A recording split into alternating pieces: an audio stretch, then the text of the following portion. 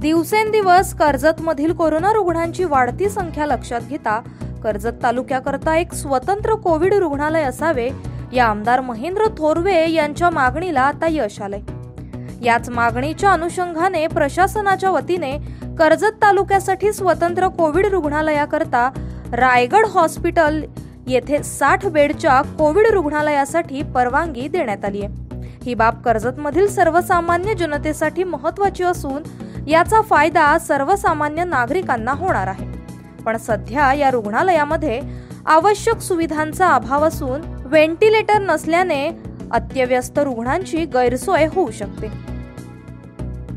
यामुळे कर्जत तालुक्यातील या स्वतंत्र कोविड रुग्णालयासाठी आवश्यक व्हेंटिलेटर उपलब्ध करून देण्याची मागणी राष्ट्रवादी युवक काँग्रेसचे कर्जत तालुका अध्यक्ष सागर शेळके यांनी रायगडच्या पालकमंत्री अदिती तटकरे यांच्याकडे केली आहे. कर्जत तालुक्यातील डिक्सळ येथील रायगड हॉस्पिटल हे शासनाने शंभर बेडचं रुग्णालय कोविड रुग्णालय जाहीर केलं. हे जाहीर केल्यानंतर तालुक्यातील जे कोविडचे रुग्ण असतील हे त्या तिथे येतात. हे येत असल्याने एक प्रथम समस्या अशी आली की तिथे एकच व्हेंटिलेटर उपलब्ध आहे. एक व्हेंटिलेटर उपलब्ध असल्याने बाकी रुग्णांची मोठ्या प्रमाणात गैरसोय होत- आहे. येथील डॉक्टर त्या रुग्णांना नवी मुंबई किंवा मुंबईमध्ये शिफ्ट करण्याचे सूचना करत आहेत. तर रायगड जिल्ह्याचे आमच्या पालकमंत्री आदितीताई तटकरे व रायगड जिल्हाधिकारी मॅडम असतील यांना मी विनंती करतो की कर्जत तालुक्यासाठी व तालुक्यातील रुग्णांसाठी रायगड हॉस्पिटल रायगड हॉस्पिटलला जास्तीत जास्त प्रमाणात व्हेंटिलेटर उपलब्ध करून द्यावेत ही विनंती.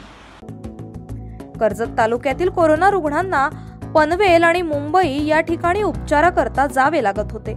या हॉस्पिटलमुळे उपचाराकरता लोकांची होणारी पडझड थांबेल आणि आपल्याच परिसरात जवळच्या अंतरावर कोरोना आजाराच्या रुग्णांवर उपचार घेण्याची सुविधा उपलब्ध झाली आहे असे असून हॉस्पिटल सर्व सुविधांयुक्त करावे अशी आता नागरिकांची मागणी आहे.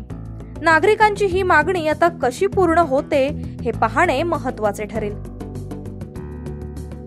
महाराष्ट्र न्यूज ट्वेंटी फोरसाठी अजय गायकवाड नेरळ.